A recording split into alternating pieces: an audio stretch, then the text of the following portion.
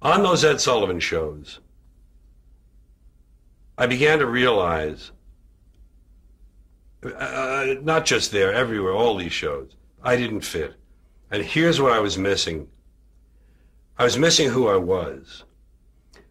I began with a dream of being Danny Kaye, which is a very mainstream dream. It's very middle America. It's a people pleaser job.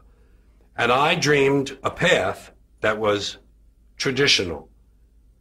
Comedian, uh, disc jockey, comedian, actor, big success. A mainstream dream. Meanwhile, what I really was, was an outlaw and a rebel because I had lived that kind of life. I got kicked out of three different schools. I got kicked out of the Air Force. I got kicked out of the choir. I got kicked out of the altar boys. I got kicked out of summer camp. I got kicked out of the Boy Scouts. And I quit school at ninth grade. I had great marks. I was a smart kid, but I didn't care. They weren't teaching what I want. I didn't give a shit. It's important in life if you don't give a shit. It can help you a lot. So I didn't give a shit. And I was this kind of, I was a pot smoker when I was 13. We broke the law. We broke into cars. We broke into offices. We broke into Columbia University. We broke into stores. We did all sorts of unlawful things. And I was that kind of person. I was one who swam against the tide of what is expected and what is uh, what the establishment wants from us. But I didn't know that about myself because this dream blinded me. This dream was about America, about the path that we all follow, the middle of the road, middle class America, mainstream will dream. And, and being, meanwhile, I'm sitting there like this, you know, fuck those people. Fuck that shit. Look at this stupid shit. No, I don't want to be in the bunny number. Can I get out of the bunny number, please? I don't want to put on that fucking uniform. You know, and, and, and I didn't know this dissonance was inside me. And in the period this is happening, all through the 60s, the counterculture was forming. The free speech movement started in Berkeley. The hippies were growing into a force. And peace, love, power, love, flower power, pot smoking, anti authority. See, bing, ding, ding, ding, anti authority. Throw over the establishment. Burn down the math building? Wow. Ding, ding, ding, ding, ding, ding, ding. So I gravitated toward that because I was that person really.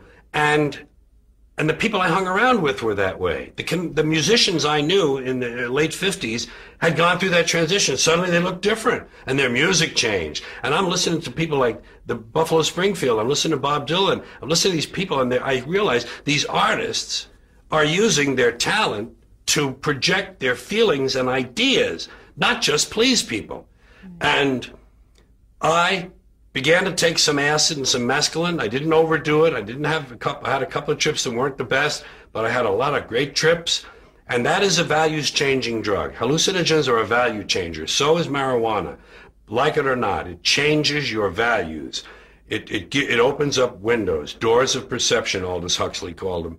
And you see things differently. And I suddenly was able to see my place and to realize I was in the wrong place. You see, in 1967, the summer of love, the peak of the hippie movement, I was 30. I was entertaining people in nightclubs who were 40. And they were at war with their kids who were 20. There was a generation war. I was in the middle of it. I was 30, 20, 40. And I'm going, I said, what the fuck am I doing over here?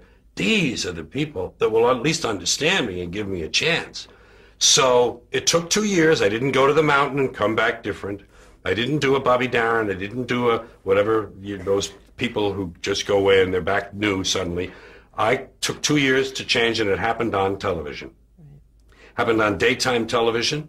Happened on syndicated shows like Della Reese, Virginia Graham, and Steve Allen had one of his many incarnations. He had so many great shows. This was one of his syndicated shows in Hollywood. And I went on there. Those shows had five shows a week. They, need, they needed people. I went on there. My beard was growing and growing, getting longer. My clothes were changing. My attitudes, the things I was allowing out of me were changing. And I talked about my changes on the panel a lot. Virginia Graham loved it. Virginia Graham had Henry Mancini on with me one time and he had admitted to smoking pot. you know, and I just thought that was great. Henry Mancini smoked pot. Whoa! And Virginia Graham was a real shit stirrer anyway. She loved to stir the shit, and I loved that. And I'd talk about these things that I felt and what I these those stupid shows I'd been doing, And Steve Allen was nice. And Steve Allen told me something. I, he was, I was on there, and he was big with a bowl of fruit, and he always had a bowl of fruit. And I'm eating a plum in between uh, commercials or tape stops. I'm eating a plum. And I said, you know something, Steve? I said, isn't it interesting that the meat of the plum is really sweet, but when you chop down on the skin itself, there's this bitter, sour taste there. He said, that's a poet's thought. I thought, wow. He told me I was a poet. And, uh, and, and just, I was, I was just, I was just expanding. I was just expanding naturally. It wasn't forced. It was organic. It, it was who I really should have. Yeah, who knew? Who knows before the fact? You don't know that. I mean, there's no place like the counterculture in 1960 for me to identify with. I knew about folk rooms. That's why I went to the folk clubs to go to the hootenannies. I knew the pot smokers were in the folk rooms. So it was it, I had I had denied that part of myself, and finally it came into full flower. And I never became a really big success until that. Mm-hmm. I probably had uh, 200 television appearances by that time, and I still wasn't realized as a as a writer comedian as a comedian. I, I, by that I mean I hadn't let myself grow into that, and and I found out later I, I was more than just a comedian. Right, you found your identity. Yeah, I did, and then then slowly, and I really didn't find my comic voice until 1992. If you want to talk about milestones, uh, I read something when I was still a comedian in the, in the Greenwich Village. A friend of mine, Bob Altman, uh, not Robert Altman, Bob Altman, he told me about Arthur Koestler's act of creation, and in the uh, act of creation, Arthur Koestler, I don't remember the details of this well enough to do it justice, so I'm going to have to shorthand it to the part that meant something to me. He showed a triptych, a three-paneled illustration. And one of the, and there were several listings down, several listings in, in the vertical column, each of them. And, then, of course, you could go look across from one triptych to the second to the third. And that was the progression of a creative person. And the jester was in the first triptych. And the jester uh, is, of course, a person who makes jokes. He makes these funny jokes. But if he has ideas attached, if the jokes are built on sound ideas, if there's something philosophical in his thinking that the jokes illuminate, then he's a bit of a philosopher too. So he goes to the second part of the triptych. Jester becomes jester philosopher now. And if he does those things with marvelous language, language that thrills us, particularly graceful combinations of words and runs and rhythms of language, then he becomes a poet as well. And so the jester has become a philosopher poet, and he's all one. And I read that very at a very young period before my development really kicked into gear, and yet somehow it stayed with me. And I think I have now, I think I can now do a little justice to that theory. I think I can claim to have my my essay, their essays now. They, there are sound ideas in them. The jokes are great. I, I, would never run from jokes. Joke, joke, joke, joke, joke. I love big jokes. I love fat jokes. I love home run jokes. And I just put in five or six more the other day in this piece that's almost finished. And I love the jokes. But the jokes are there to uh, decorate the ideas. The ideas are about what I don't like in this country, what it is I'm sort of kind of disenchanted by in my fellow man, my fellow human, and my fellow American. So those are the ideas. But then I, I found that I have this ability my father had to be really good with language and to put it into kind of interesting sounding bits and snatches and runs and trills and things. And so I've kind of gotten that. I mean, I, I kind of have inherited that. And, and now I feel fully realized as a performing writer See, I used to think of myself as a writer, as, as a performer who wrote his own material. I always bragged about that in interviews. I'd say, I write my own material, because a lot of comedians didn't. I'd say, I'm a, I'm a comedian, but, but I write my own material. Now I think I'm a writer who performs his own material. I write, but I have two places for it books and on stage. And then on stage it becomes HBO. HBO saved my creative, uh, my creative and commercial, the marriage of the two. Yeah saved me because my record career had pretty much died down. I had four gold records in the early 70s, and you can't be the new hot guy in town forever. So I began to fade and run out of ideas. I drifted a while. HBO came along in 77, I did my first show for them. They didn't have many subscribers.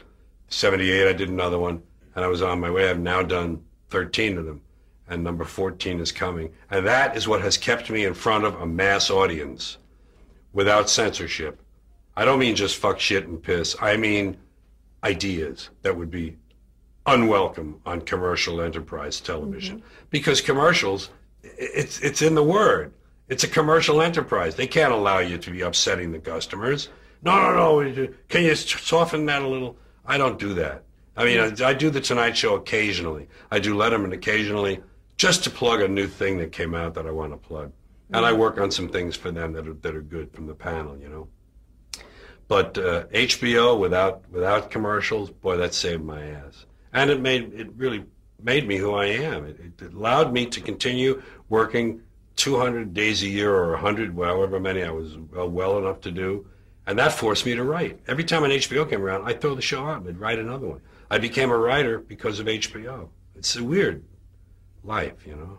Right, and to be able to do those extended, hearing you talk about, you know, the the jester, philosopher, poet, I thought of that the opening monologue of one of those specials, Modern Man. Yeah, the, and it's it's a rap. I yeah, mean, it's a yeah. it's it is it's a rap poem. Yeah, it's, and it's all about language and it's all about jargon, really, American jargon in this this decade, let's call it. Yeah. And uh, I'm a modern man, a man for the millennium, digital and spoke free, a diversified, multicultural, postmodern deconstructionist, politically, anatomically, and ecologically incorrect.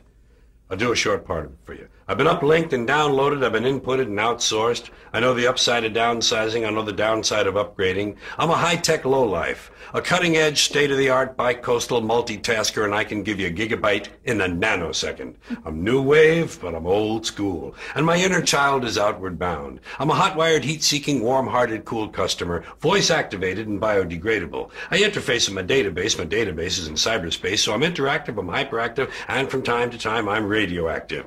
That's enough for now. Thank you so much. That was a great piece to do, and I, for some reason, can't forget it now. It's, it's no, lodged it's, in my memory.